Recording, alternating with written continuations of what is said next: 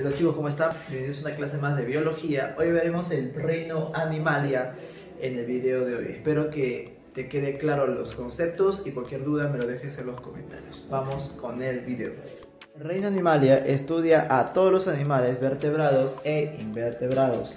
Los animales invertebrados son aquellos animales que no poseen columna vertebral y los vertebrados son aquellos que sí han sido desarrollados y pertenecen y tienen la columna vertebral correspondiente.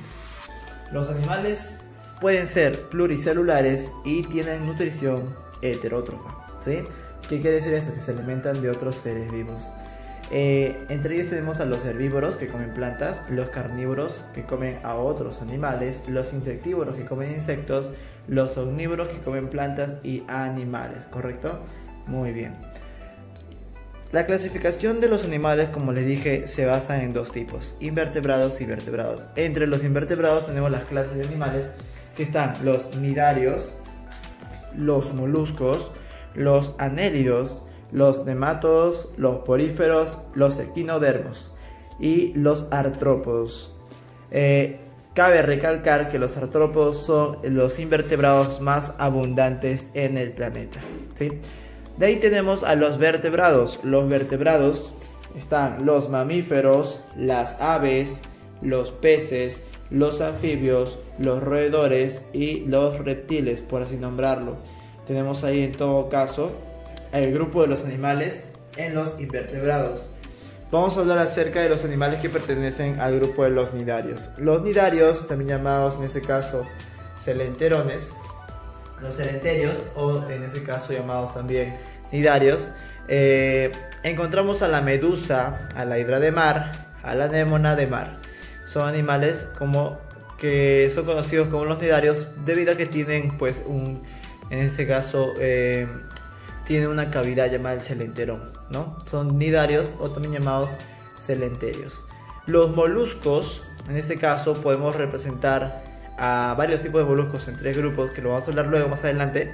Eh, pero hablaremos pues de los más conocidos como el caracol, el pulpo, la babosa y el calamar. Los anélidos son un tipo de gusanos anillados. Acuérdate que los gusanos pueden ser de dos tipos, anélidos o pueden ser también nemátodos. Los anélidos son los gusanos de cuerpo blando y en forma anillada, cuyo cuerpo está seccionado. Entre ellos tenemos a la lombriz de tierra y a la sanguijuela, también a la tenia, etc. Los equinodermos, ¿sí? en los equinodermos encontramos pues a, en este caso, a seres vivos que tienen estructura radial. ¿sí? Para ello tenemos a los seres vivos como la estrella de mar, el erizo de mar, que tienen estructura pentarradial. Los equinodermos. Además se sabe que los equinodermos poseen pues una boca eh, de cinco dientes, ¿no? Una estructura bucal llamada eh, la linterna de Aristóteles. Eso lo notamos en el erizo de mar. Los poríferos, entre ellos tendremos a los, eh, a los seres vivos con poros, los seres en este caso como la esponja de mar, el pepino de mar. Acuérdate que la esponja de mar no tiene cerebro, ¿sí? Y reacciona mediante estímulos. Cabe resaltar que los poríferos son los animales como la esponja de mar, que son los animales más primitivos o más antiguos conocidos en la historia. Tenemos también a los artrópodos, que son los más abundantes, ¿no? Los que hay más variedad tienen articulaciones como patas, los artrópodos. Entre ellos vamos a contar que los artrópodos pueden poseer o se les puede dividir o clasificar según el número de patas que contengan. Son hexápodos aquellos que tienen seis patas. Acuérdate que los insectos, ¿no? en los artrópodos, eh, una característica principal en los artrópodos es que tienen una, un exoesqueleto hecho de quitina. ¿no? El exoesqueleto de los artrópodos está hecho de un polisacárido denominado quitina. Entonces, esa es una característica principal de los artrópodos. Vamos a colocar acá. Tienen exoesqueleto, ¿sí? Exoesqueleto. ¿De qué? De quitina. Eso es en general para todos los artrópodos. Entre ellos tenemos pues a los hexápodos, que son los insectos. Entre ellos podemos nombrar algunos insectos como la mosca, el grillo, la cucaracha, la pulga, la garrapata. Mm, luego también vemos a los octápodos. Los octápodos son aquellos que poseen ocho patas, ocho articulaciones.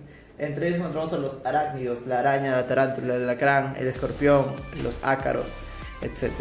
Los decápodos en sí poseen 10 patas. Tenemos ahí a los crustáceos, que son pues el cangrejo, la langosta, el langostino. Y más allá vemos animales que tienen más cantidad de pies, no más articulaciones como pies. Entre ellos encontramos ya a los quilópodos, que son como de 100 pies, de cuerpo planado, animales carnívoros y que poseen glándula venenosa. Poseen de 30 a 40 pies. Debido a que cada sección posee dos pies por cada sección, los 100 pies eh, pues son considerados así por su abundante cantidad de articulaciones. Luego se descubrió a otro animalito que posee más articulaciones que el 100 pies. Lo denominaron el mil pies. El mil pies no es que tenga mil pies, sino es que tiene de 80 a 150 patas, ¿no? Pero se le pone ese nombre pues característico de la abundancia de articulaciones que posee.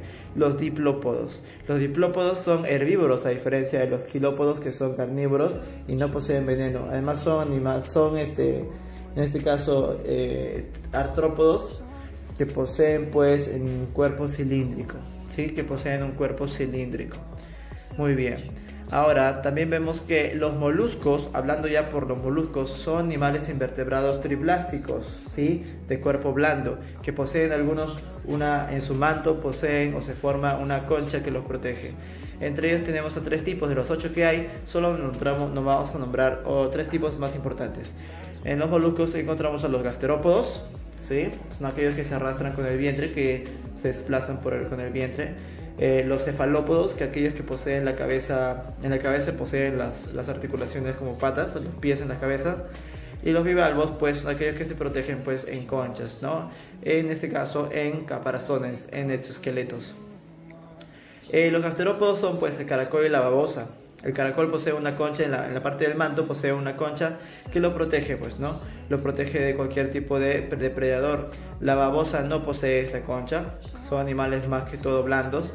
Los cefalópodos, eh, como el pulpo y el calamar, ¿no? En este caso el pulpo es un animal muy inteligente, es un cefalópodo, posee los, los tentáculos que funcionan como articulaciones, eh, la parte de su cabeza, ¿no? Y también posee, pues, eh, en ese caso la tinta la tinta negra de los pulpos que funciona como en este caso como un arma contra los depredadores.